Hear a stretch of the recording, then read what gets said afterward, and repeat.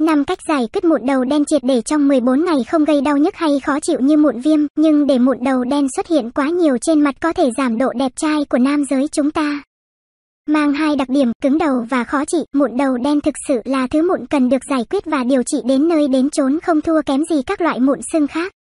Điều gì tạo cơ hội cho mụn đầu đen xuất hiện khi lỗ chân lông trên da bị ách tắc và bịt kín bởi dầu nhờn, tế bào da chết và bụi bẩn, chúng tích tụ lại và trở nên thô cứng hơn.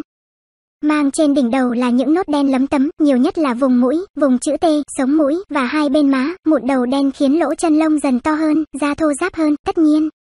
Gương mặt đầy mụn sẽ kém đẹp trai và bắt mắt hơn, rồi, ngoài chuyện nặn, cách giải quyết mụn đầu đen rất điểm mà tiết kiệm nhanh nhất trong vòng 14 ngày, phù hợp với đàn ông chúng ta. Thăng một sữa rửa mặt có hạt vâng, bị mụn thì đầu tiên phải quan tâm đến sữa rửa mặt, những loại chuyên sâu trị mụn đầu đen anh em có thể tham khảo như Innisfree Volcano Jeju Pore Scrub 180.000 đồng Neutrogena Deep Clean Blackhead Eliminating Daily Scrub 320.000 đồng The Face Shop Blackhead X Clear Cleansing Foam 130.000 đồng Tại sao lại chọn? Loại có hạt Đa số hạt có trong sữa rửa mặt mà anh em cảm thấy sần sần, cộm khi xoa lên tay có tác dụng massage lỗ chân lông trên mặt và lấy đi nốt mụn một cách nhẹ nhàng nhất mà không cần nặn. Ngoài ra, Chúng còn có tác dụng tẩy da chết để hạn chế tình trạng bít tắc lỗ chân lông, còn nếu da thuộc dạng nhạy cảm, dễ dị ứng, anh em nên đổi sang loại tạo bọt.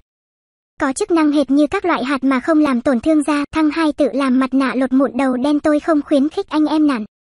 Bởi dùng tay hay dụng cụ nặn cũng có thể tăng khả năng nhiễm trùng da lẫn làm to lỗ chân lông trên mặt thay vào đó, nên dùng mặt nạ tự nhiên để xử lý vẫn an toàn hơn.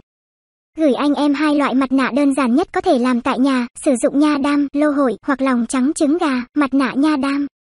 Chiết nhựa, phần bên trong của lá, nha đam và bôi thẳng trực tiếp lên vùng nhiều mụn, chờ khô khoảng 10 phút rửa sạch lại bằng nước lạnh thực hiện mỗi ngày. Trước khi dùng sữa rửa mặt từ 1 tháng 2 tiếng, mặt nạ lòng trắng trứng gà.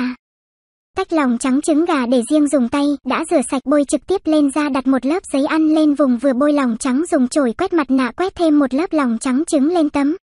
Giấy ăn để khô khoảng 10 phút và lặp lại các bước trên 4, 5 lần sau lần đắp giấy thứ 5. Giữ nguyên mặt nạ tự làm này từ 30 phút cho đến 1 tiếng, nhẹ nhàng lột mặt nạ ra và kiểm tra kết quả, đầu mụn được lấy sạch sẽ.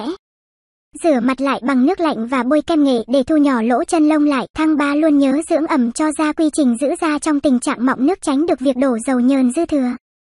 Da chết hay bụi bẩn cũng không còn chỗ để bám lại lâu trên lỗ chân lông mà gây mụn đầu đen. Thăng 4 học cách đắp mặt nạ thư giãn hai lần, tuần chuyện đắp mặt nạ không còn là của các quý cô nữa rồi. Thời đại này, đàn ông muốn đẹp trai, da sạch mụn đừng bỏ qua bước này, như tôi nói, nghỉ ngơi thư giãn cũng là cách ngăn ngừa việc căng thẳng, tăng hút môn gây mụn trên da. Thăng năm uống trà xanh lợi ích của thói quen uống trà hàng ngày chắc ông nào cũng biết, ngăn ngừa lão hóa sớm, tăng cường hệ tuần hoàn, hệ tiêu hóa hoạt động, làm đẹp da, ngừa mụn tất nhiên rồi.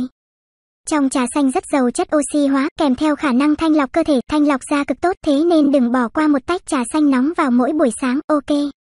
Còn ông nào có cách trị mụn đầu đen hiệu quả không, chia sẻ cho anh em học hỏi nữa nhé.